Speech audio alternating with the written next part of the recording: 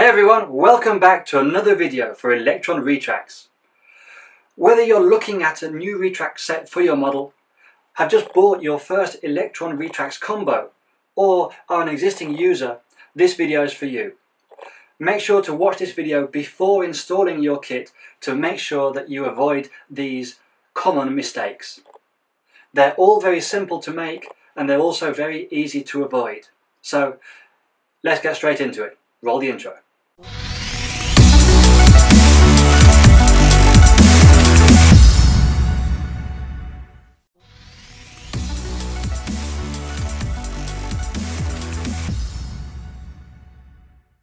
Mistake number one. Never, ever, ever connect a battery directly to a retract unit. Always use a controller. Why? Very simple. This is just a motor and a gearbox. A very clever version, but it's still a motor and a gearbox. Therefore, if you connect power to it directly, power is always going to continue surging through, regardless of whether it's reached its endpoints or not. The controllers detect how much current is being sucked up by the retract, and if that's above a certain limit, it knows it's reached its end or has come against an obstacle in its path. Therefore, it stops supplying power to the motor and avoids the motor from being damaged. If you connect your LiPo directly to your retract, you don't know whether it's going to be trying to open or close because of the polarity, and you've got a 50% chance of getting it wrong. And even if you get it right, if it comes against an obstacle or you disconnect it too late after it's reached its endpoint, you're already damaging the motor. Now, 90% of any problems that clients have is normally due to this. Now, because of this, Electron Retracts have brought out their manual controller. This allows you to plug in a battery pretty much directly into your retract and operate it with two simple buttons. Same thing as connecting the battery, but safely. Okay, so don't do it.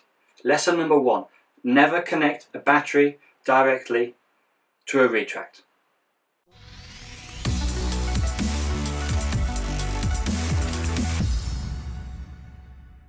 Number two. Okay, number two is even more obvious than number one, but it's still overly easy to make the mistake, so let's go over it. Check the polarity of your batteries. Now, if you buy a wire with a connector on it and simply solder them together, it's very obvious that red goes with red and black goes with black. However, if you're soldering just the connector, it's all too easy to solder the wires in the wrong way round.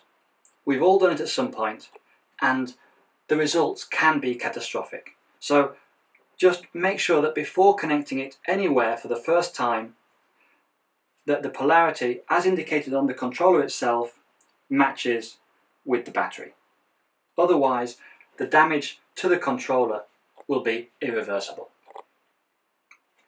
That said, the actual retracts themselves can be connected in either direction without causing any kind of damage to the retract. However, you need to be aware that if you do reverse one of the retracts, it will be retracting when the others are extending. Or if you happen to reverse all of them, when the controller believes that they are up, they will be down, and vice versa. The problem with that is that as and when you have your steering servo connected through the controller, then that steering servo is only going to work when the gear is up and it's going to be locked when the gear is down. So just bear that in mind. Equally, the latest versions of the retracts are actually reversible, as indicated on the gear itself. What that means is, if you need the gear, instead of coming down this way, to go the other way, we can simply remove the trunnion, turn it round, and it will work in reverse. Now for that to work in the correct direction, we will actually need to reverse the polarity going into the controller. So, as I say, it doesn't cause any damage, just make sure that it's correct for your particular setup. As far as the brakes are concerned, the brakes, again, doesn't matter which way round you connect them, positive or negative. Despite that, the controller still indicates which side should be positive and negative, so just stick to it.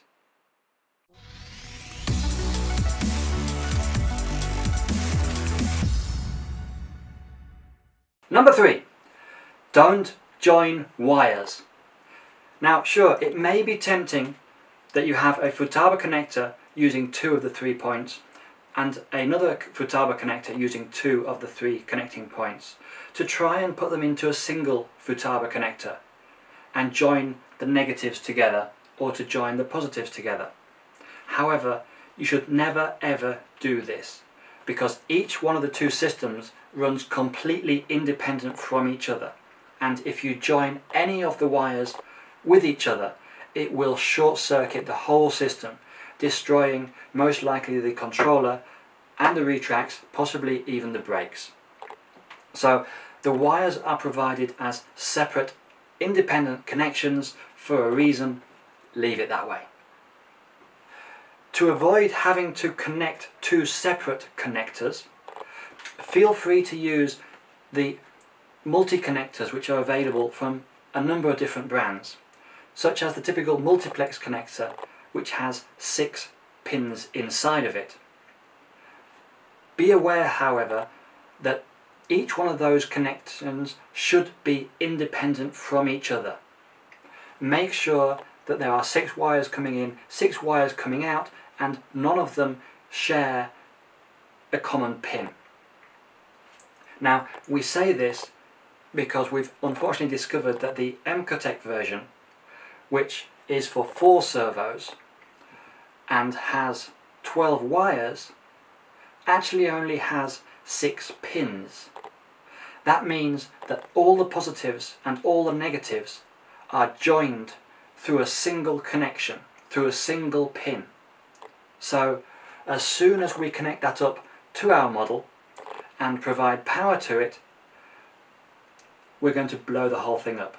That's going to create a short circuit inside the pre-prepared, pre-manufactured multi-connector. So please be aware and make sure that each one of those connections is independent from each other.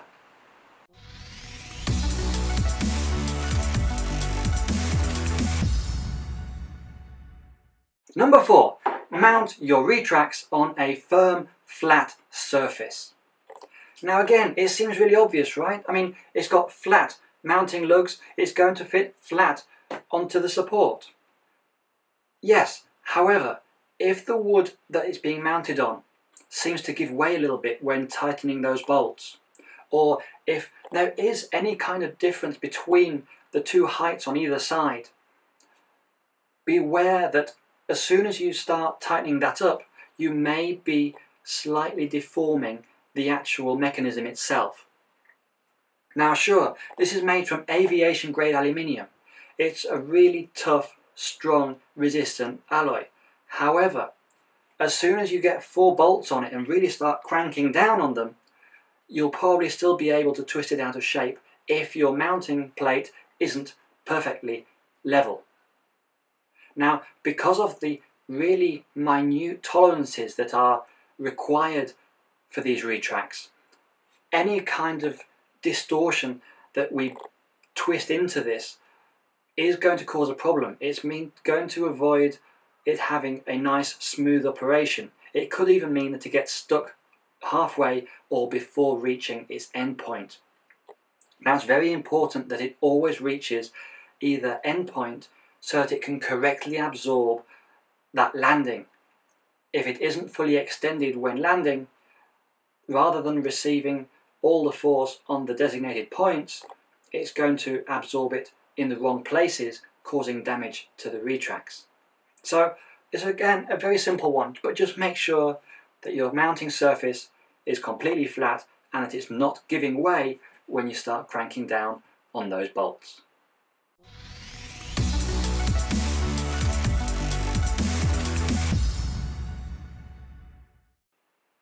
Number five, check for free movement.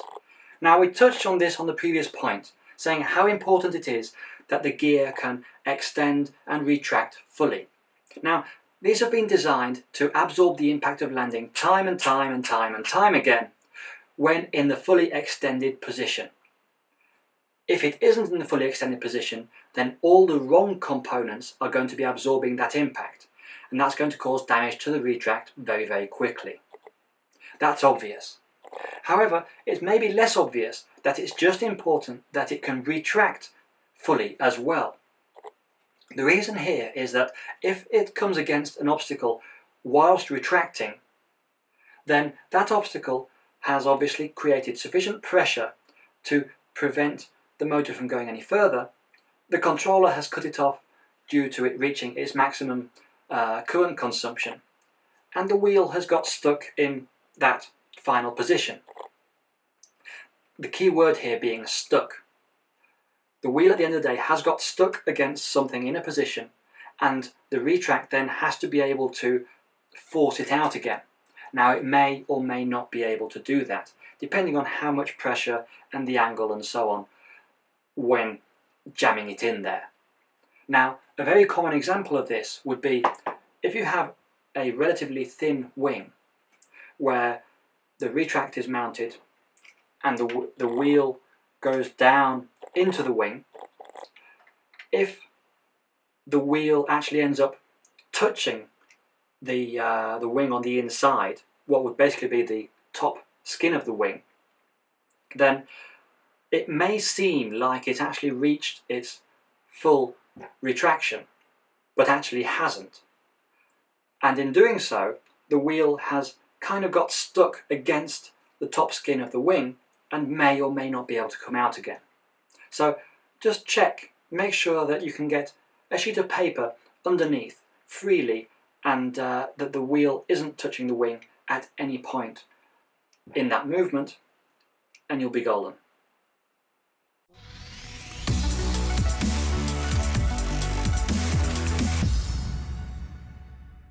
Number six, and the last one for now, not so much a warning, just a little bit of helpful information. Which voltage goes where? Don't worry about the idea of a big battery going into your controller frying any servos because the extra battery is only ever going to power the retracts and the brakes. So no matter what voltage that battery is, be it 2S or 3S depending on which retracts you have, that voltage is only going to go to the retracts and to the brakes. Any voltage required additionally to that, such as for your steering servo or for your gear doors, is going to come from the power that the controller receives from the receiver or power box. Therefore, if the rest of your model is running on 5.9 volts, 7.4 or even 8.4, and that's the power that you are providing the controller with, that is the power that the controller is then going to pass on to those servos or gear doors. And there you have it. Six great points to look out for when setting up your new model with Electron retracts. We hope you found this video useful. Subscribe to the channel for more great videos. Leave a comment if you have any questions. Drop us a like and we'll see you in the next video. Thanks for watching.